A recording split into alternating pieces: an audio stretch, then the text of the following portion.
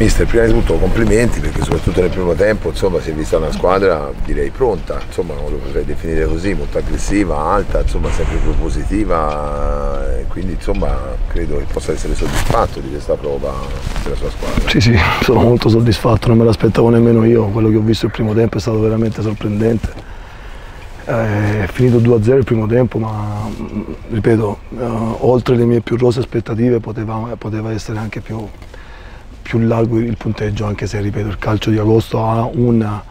identità eh, limitata rispetto a quelle che sono eh, le vere realtà, però eh, bisogna essere soddisfatti di una, grande, di una grande prestazione contro una squadra importante costruita per vincere il campionato, quindi io sono molto contento, poi il secondo tempo giustamente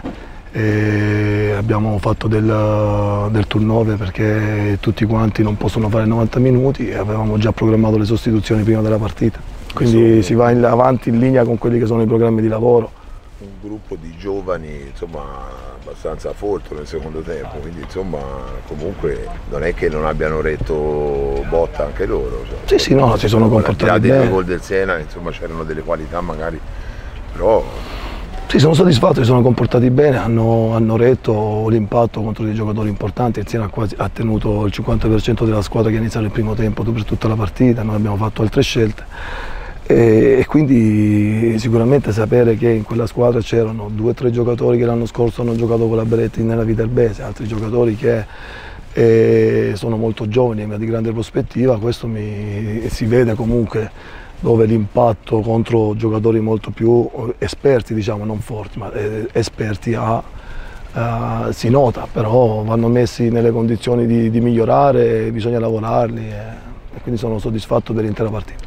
Una domanda sulla situazione che avete vissuto quest'estate comunque c'è stato un cambio di proprietà da voi, come l'ha vissuta lei che si è trovata un po' a galla, diciamo un po' a bagnomaria?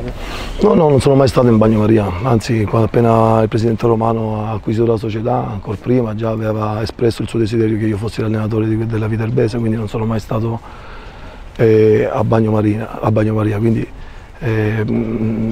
io l'ho vissuta da dentro, l'ho vissuta tra tranquillamente anche perché il presidente ha eh, con le normali difficoltà di una, di una, nuova proprietà comunque poi ha operato molto bene. Mister, ma debutta Mezzala sta impressionando in maniera positiva, ci aveva già giocato in passato o è stato un esperimento? No, io già l'anno scorso avrei voluto farlo giocare là, però l'anno scorso giocando domenica mercoledì non c'era il tempo per lavorare e quello è un ruolo che non, prendere un attaccante e metterlo lì come ho sempre fatto negli anni passati necessitava di giorni di lavoro, non avendolo dovevo andare a, a prendere il, il, massimo risultato nel, nel, minor tempo possibile l'anno scorso. Detto questo, eh, Van de Punto secondo me quel ruolo lì lo può fare la grande. E io ne ero convinto, ne sono convinto, magari